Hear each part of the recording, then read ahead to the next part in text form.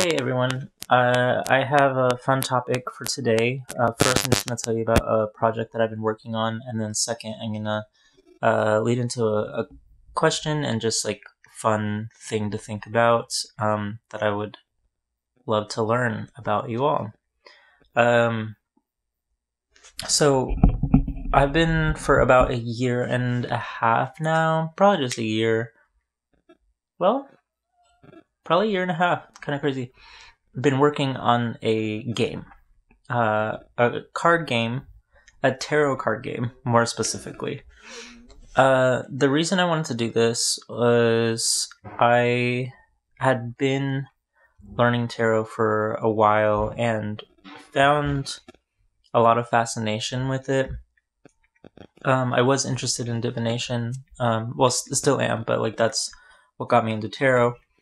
But then the more I learned the cards, the more I learned they had a really interesting history. They had a lot of interesting meanings. They had a lot of interesting associations and patterns that um, were not only fun to learn, but helpful from a personal development standpoint. It deals a lot with just uh, the personal archetypes, uh, the hero's journey, um, with different energetic elements. Uh, essentially, the tarot deck is a is one way of mapping out the human experience, kind of like a mirror to the inner self. I believe after the studies that I've done and my interacting with it. So I thought it would be cool to make a game out of it for a couple reasons. One, to help people gain familiarity with it in a like no pressure kind of way, um, and to like hopefully inspire people to learn more about it. Uh, but also because of the mechanics of the deck. So it's similar to a normal deck of cards in that it has the four suits. It differs in having one more set of um, court cards. Um, and then it also has 22 extra cards beyond that called the Major Arcana, 0 through 21. Uh, so I think that makes a total of 78 cards in a standard tarot deck. And um, I, I had a thought. I like just kind of woke up, honestly, and thought to myself, it would be awesome to make to to find or to design a card game because of those extra cards, that extra factor. Um, I thought had a lot of potential in game mechanics.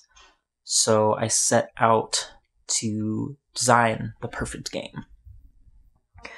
Um, it's maybe not perfect yet, but it's very close. I've made about 10 or 12 drafts of the game, I would write up a set of rules, and then I'd go test it with somebody to see how it actually worked out in real life. And a lot of times I'd find that the basic mechanics were cool, but it needed some balancing.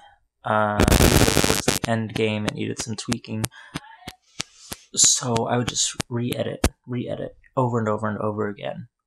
And finally, um, finally have a version that I think I could actually send out a set of rules and um, and see if people could play the game without m- me actually being there.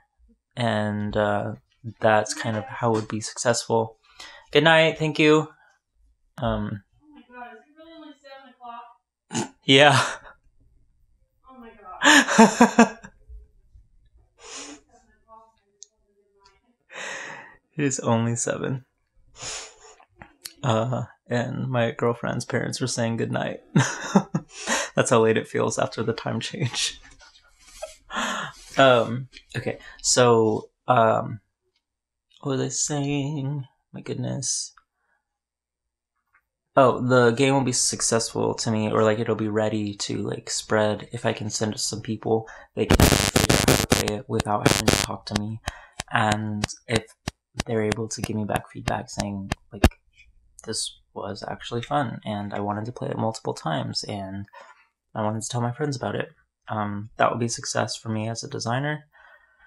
Um, and potentially being able to sell the rule set in in some way. So big project that I'm working on. Uh, I just wanted to kind of put that out there um, and uh, let you know it's called Long Lost Lovers and let you know you should look forward to it uh, for sure. And then now, then I wanted to just uh, put out a quick question to the world before my battery dies on my phone, which is, um, do you remember in your life games that you've made up on your own or with friends that um, were especially fun, or maybe even more fun than sports you learned or games that you picked up off shelves or that your family had?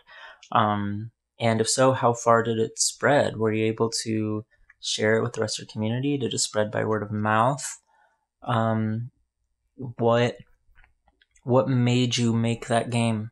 For example, in college, I played hallway tennis with my friends, and that's because we loved tennis, but it was wintertime, you know? it's like, um, so we found a way to keep playing. Um, what kinds of things have you come up with? That could be in your early childhood, that could be elementary school, it could be in college, it could be in your adult life. Um, I am definitely curious. Thanks for watching. Please comment, please like, subscribe if you haven't already. Um, and just want to put out a quick thanks to my Patreon supporters.